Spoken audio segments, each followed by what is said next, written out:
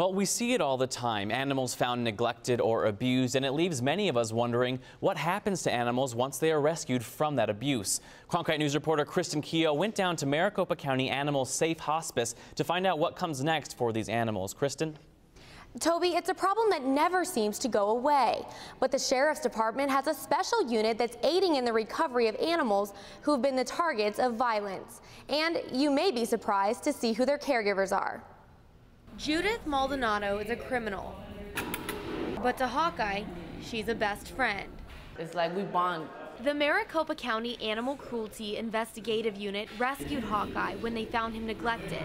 And now he has a home in a jail cell. Someone has to look out for the animals. For Sheriff Joe Arpaio, looking out meant turning the First Avenue jail into a safe house for victims of animal cruelty and inmates into caretakers.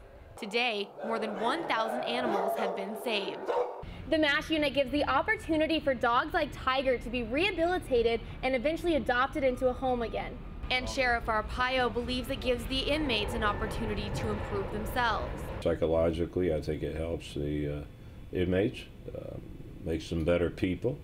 When they get out of jail, maybe they'll follow the law and not come back. But while they are in jail, the animals seem to be bringing out a softer side. I, can't, I don't know how to explain this, but I mean, it's just something that I, I really enjoy working with animals.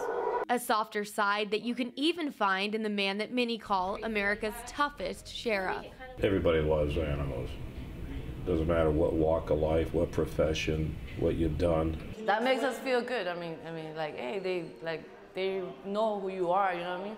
What Hawkeye doesn't know is how lucky he is to have this shelter and how lucky Judith is to have him. The MASH unit keeps the animals until they make a full recovery. They also provide spaying and neutering and provide vaccinations. If you'd like to adopt one of these animals, log on to mcso.org. Live in the newsroom, I'm Kristen Keogh, Cronkite News.